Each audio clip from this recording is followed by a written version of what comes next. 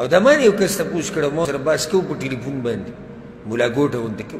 او چې عرش نو الله کم شي کو ما دا ستاسو تپوس ځکه دا باز بدعتیان په عقیده کې ګمراهان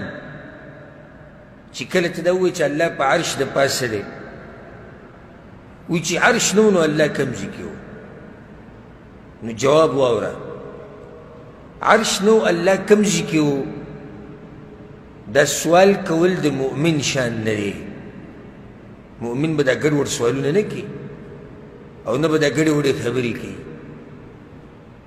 او جواب یې واوره شتي جواب یې دا نه چې موږ سره جواب نشته او جواب هم د پیغمبر صلی الله علیه وسلم د خلی نه ووره دغه حدیث ما تاسو ته بیان کوم په صحیح مسلم کې کان الله ولم یکن شیء قبله هو الله څه شی نه و بس تقي پورې زمونږ ایمان دی نه د دینه مخکې کیږو نه د دینه لوی د علم غرونه دریابونه دي زار حقانی شیخان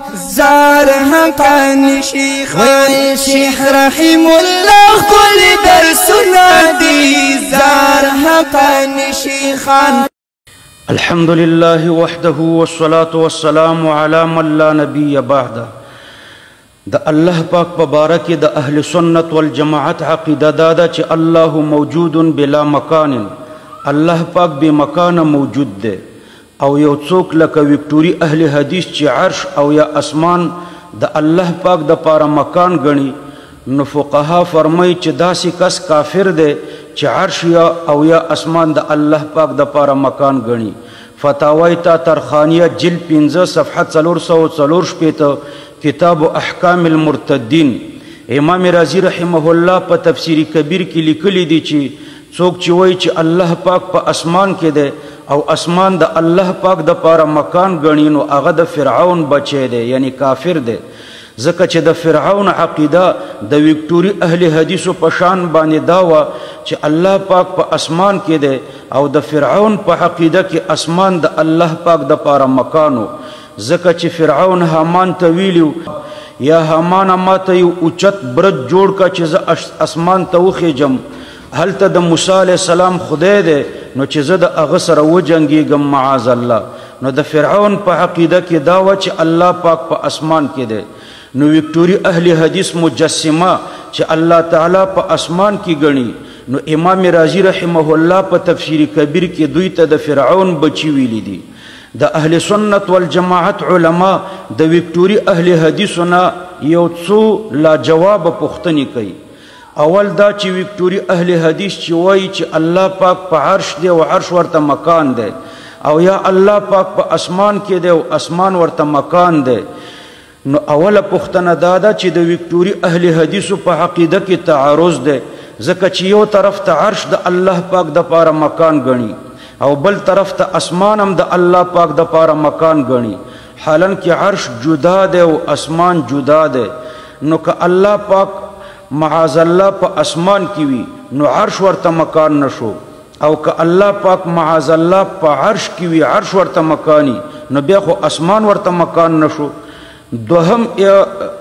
دوهم لا جواب پښتنه د وکټوري اهل حدیثو نه دادا چې تاسو وایي چې الله پاک د پاره عرش مکان دی نو چې عرش نو نو الله پاک چرته د عرش نه مخکې الله پاک په کوم ځای کې نو د دې دوهم سوال د پاره د وکټوریانو میکاپی مولا وای چې زه جواب ورکوم نو وکټوریانو د خپل میکاپی امام جواب ته ډیر ماشاءالله او ماشاءالله ویلی دي نو زما خیال ته خدا راغله چې کې دی شي چې کوم ورځ به د میکاپ نزان مطالعه ته وزګار کړي او علمی جواب به کړي هغه مې چې واورېدلو نو ډېر مې ورته وخندل ځکه چې سوال دا شوی و چې عرش چې نه و نو الله پاک چرته و نو دا میکاپي ویکټوري وایي چې جواب واوره او هغه دا چې جواب یې دا و چې وایي داسې سوال مه کوه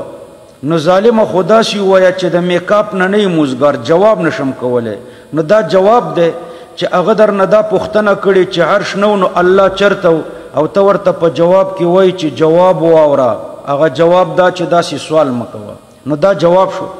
دویم جواب یې دا کړی دی چې کان الله ولم یکن شیء غیره الله تعالی موجود او عرش و غیره نه حالانکه دا د سوال اعاده ده جواب نه دی، د سائل او د پوښتنه کوونکي مقصد هم همدا دی چې په عرش کې په حدیث کې خو عرش ته حادث ویلی شوی دی الله پاک وو او عرش نه وو ځکه چې کان الله ولم یکن شیء غیره الله وو او د الله نه غیر بل هیڅ نه و نو عرش نه و نو چې عرش نه و نو په هغه وخت کې الله پاک چرته و چې تاسو الله ته مکان ثابتوئ نو ګوري ورونو د اهل سنت والجماعت او د دې وکټوري اهل حدیثو په مابین کې دا فرق دی چې اهل سنت والجماعت فرمایي چې الرحمن علی العرش استوا او دا رنګ امنتم من فی السما دا متشابه صفات الله ته ثابت دي خو معنی الله ته معلومه ده